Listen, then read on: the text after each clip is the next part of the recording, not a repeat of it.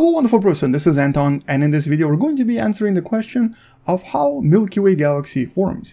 We're going to, I guess in some sense, reverse engineer it using one of the recent studies. Let's talk a little bit more about this and welcome to Da Math.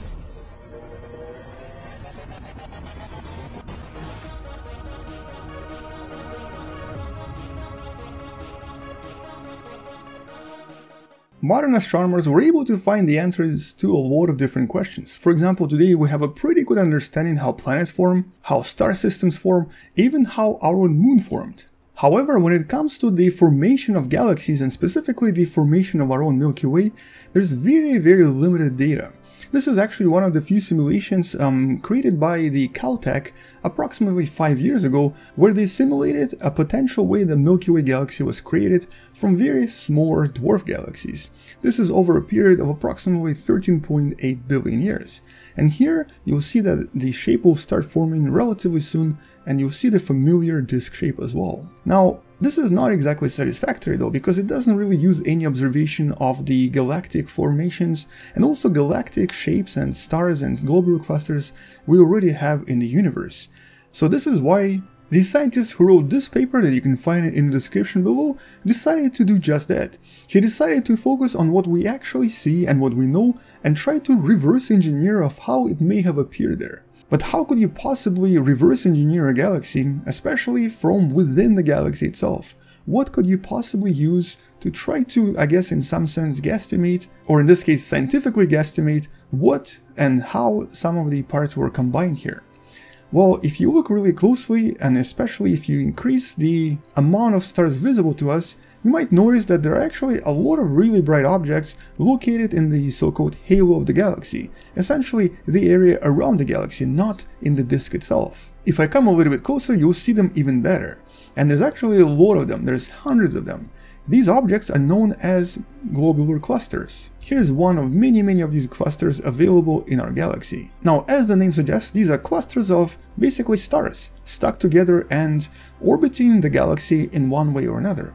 But for the most part, most of these globular clusters, or at least the vast majority of them, do have very peculiar orbits, which of course for many years suggested to scientists that they probably came from other galaxies or they were probably formed in some very mysterious ways. And so by using globular clusters, the scientist behind this paper was actually able to relatively accurately predict where some of these globular clusters came from and how all of this then sort of resulted in the formation of our own galaxy. And all this is of course based on the idea that the Milky Way had a very very violent past, it very likely uh, absorbed a lot of different galaxies, possibly hundreds if not thousands of smaller galaxies, and all of them together created the shape we know as Milky Way today. But there are only some of the larger ones we can sort of predict and see. In other words, some of the smaller galaxies that the Milky Way absorbed probably disappeared forever. We'll never really be able to tell that they even used to be there. Now here's the picture of actual globular cluster. This is M80 that you can see um, from, I believe it's Scorpius constellation and it's about 80,000 light years away from us. And for many years, scientists have always speculated that the globular clusters are actually the leftovers of these dwarf galaxies that combine to form larger galaxies. One of the best examples of this is from the very well-known Sombrero galaxy. This is one of the most beautiful and also one of the easiest to see galaxies out there. And even though it sort of looks really calm, like nothing is happening here, there are thousands of globular clusters and very recently scientists even discovered that this is a result of major collisions that happened in the past. Way way more than collisions that happen in the Milky Way. So essentially the number of globular clusters in some sense suggests the number of collisions the galaxy may have experienced, especially the globular clusters that have peculiar orbits that are not aligned with the plane of the actual galaxy. We've also seen a lot of globular clusters and individual stars connected to these so-called stellar streams, and we know that these are also the leftovers from various dwarf galaxies that were sort of slowly stripped away by the Milky Way's gravitational power. So all of this evidence suggests that globular clusters are directly related to the potential dwarf galaxies that the Milky Way is made from. These are basically kind of like the Lego blocks that we can then try to use to analyze what collided with what to create our galaxy. And so the scientists behind this paper discovered that from the approximately 76 various globular clusters that he was able to analyze, all of them could technically be qualified as 5 to 6 different collisions, major collisions. In other words, our galaxy may have experienced 5 to maybe 6 different very specific and very major collisions that then created the shape that we know today. And the first such collision happened between the early Milky Way and a relatively massive, probably the most massive dwarf galaxy known as Gaia Enceladus, more unofficially known as Gaia Sausage. So Gaia Sausage is actually something we've discovered not so long ago, and we even were able to identify what seemed to have been its core, basically the actual nucleus of this galaxy. This is the globular cluster known as NGC 2808. And so a lot of these clusters may have actually been the centers of these smaller galaxies and now are kind of left there orbiting around the Milky Way. This collision very likely happened approximately 11 to maybe 10 uh, billion years ago, and so this was one of the first major additions of mass in different gas and of course stars to our galaxy. It's possible that uh, after this period there were a few smaller collisions, but nothing really uh, that major for at least a billion years. About a billion years later, the next collision happened between the so-called Sequoia galaxy or FSR 1758. Today this galaxy is extremely difficult to see and it's basically covered by dust. We've actually discovered it by accident like so many other things but it also introduced a lot of matter, a lot of stars, and a lot of different globular clusters that are still found in our galaxy. This followed by another galaxy known as Sagittarius Dwarf Galaxy. This is a galaxy I've briefly talked about in one of the previous videos, and the so-called Sagittarius Dwarf Galaxy that we also discovered not so long ago is also responsible for making the Milky Way sort of rippled and wobble a little bit. I've talked about this in one of the previous videos. So in other words, all of these galaxies that collide with the Milky Way, their leftovers are still there, still kind of causing a lot of different disruptions, while at the same time changing the shape of our galaxy even today. The fourth galaxy is unfortunately actually invisible, as in it's probably not there anymore, or maybe it existed a long time ago and just disappeared, or it's really difficult to see. But the scientist behind this paper, because he's Australian, decided to name it Koala.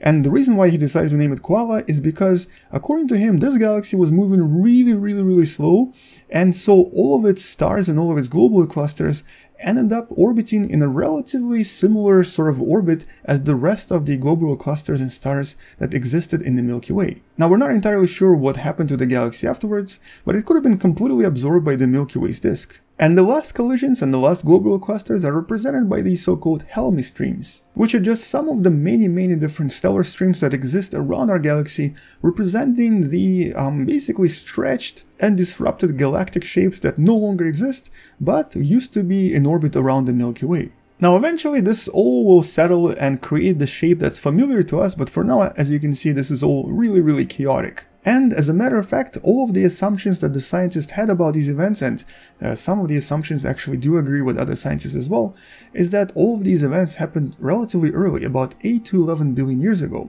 And then eventually, the galaxy had at least 7 billion years to stabilize its shape and create the disk that it has today. Now there were actually a few more galactic clusters that were results of much more energetic collisions with smaller galaxies, and also a few more galactic clusters that he couldn't really attribute to anything, but for the most part, these five major collisions were quite easily attributed to these five specific events. And um, this would definitely explain not only how our galaxy became so massive and so large, but also explain the existence of a lot of other shapes in our galaxy, including of course the uh, stellar streams, the very difficult to see dwarf galaxies, and the multitude of other objects we've discovered around the Milky Way in the past few decades. So there's actually a lot of stuff orbiting the Milky Way, and most of it, if not all of it, is a result of a collision between a smaller galaxy and the Milky Way that essentially absorbed what seems to be like a few dozen or possibly even a few hundred different galaxies. And today we know that it's far from being done. A lot of other galaxies, including Large Magellanic Cloud and Small Magellanic Cloud, have already slowly started being absorbed by the Milky Way. We've actually detected streams coming into the Milky Way from these two galaxies, and um, it seems that in a few billion years they will be also gone and leave nothing but a few globular clusters behind. And the other major discovery from this paper is the estimate on how much mass and how many globular clusters were probably acquired during these early collisions. And it seems that even though possibly only about a billion stars remain in the Milky Way from these early collisions, Overall, it seems to have acquired most of the globular clusters. And it also suggests that maybe the globular clusters are actually one of the few actual objects that can remain for many many billions of years completely intact and not fall apart even following a major galactic collision. So this could be a tool that we can use in the future to discover more about other galaxies out there. But not all galactic clusters were captured. At least 11 that he identified were actually made in the Milky Way. This means that one day we could actually even establish how many globular clusters a galaxy is supposed to have, and then by using the number of galactic clusters, try to estimate how many galaxies were absorbed in the process of forming a certain galaxy. Anyway, it's a really interesting study, it's worth reading, I'm posting the link for this in the description below, but uh, on that note that's really it. Thank you so much for watching, share this with someone who loves learning about space and sciences, maybe support this channel on Patreon, maybe subscribe, and maybe consider buying the beautiful, wonderful person t-shirt to help support this channel. On that note, I'll see you tomorrow, space out, and as always, bye bye.